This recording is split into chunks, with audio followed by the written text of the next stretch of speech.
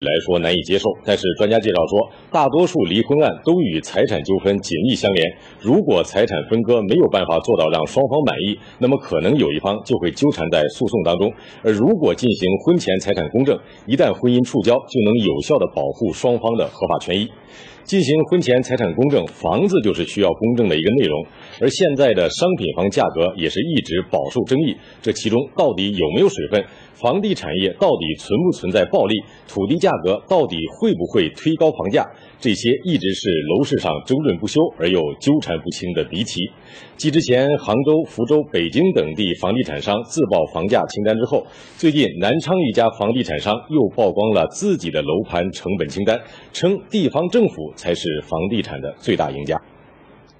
据经济参考报报道，南昌某房地产公司为记者提供了一份其开发的楼产项目的成本清单。该房地产开发商认为，政府从房价收益中切走一大块，这其中主要是土地使用权取得费用，也就是楼面地价，另外还有各种税费及工程管理中的一些费用，几项合计约每平方米一千六百元，超过了房价的三分之一。这份成本清单也显示，开发商是房价收益的第二大主体。该楼盘目前其市场销售均价是每平方米约四千七百二十元，成本是每平方米三千九百四十六点六一元，每平方米的利润是七百七十三点三九元，占到房价的百分之十六点四。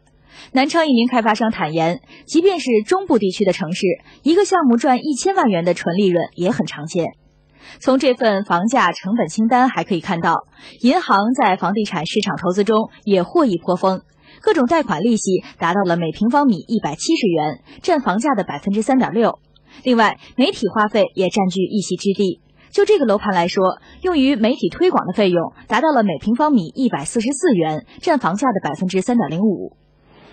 其实，在南昌房地产商爆出这份房价清单之前，已经有政府、房地产商、民间等多个房价清单版本在流传。关于房价清单，各地主体相互指责，究竟谁是最大赢家，谁是房价推手？这里面迷雾重重。对于普通老百姓来说，这房价清单里的是是非非，或许永远也弄不明白。人们只想知道，这高企的房价何时能回归到合理的空间？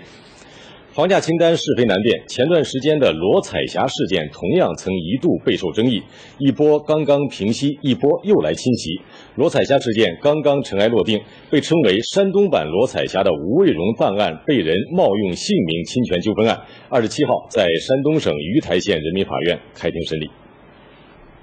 庭审从上午九点开始，由于被告较多，庭审一直到下午两点才结束。原告吴卫荣诉称，自己于一九九六年在湖北中医学院毕业，因为一直没有工作，便随下岗的丈夫在济南摆摊为。